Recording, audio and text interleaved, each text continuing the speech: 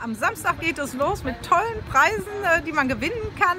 Und ja, ich freue mich über viele Teilnehmerinnen und Teilnehmer.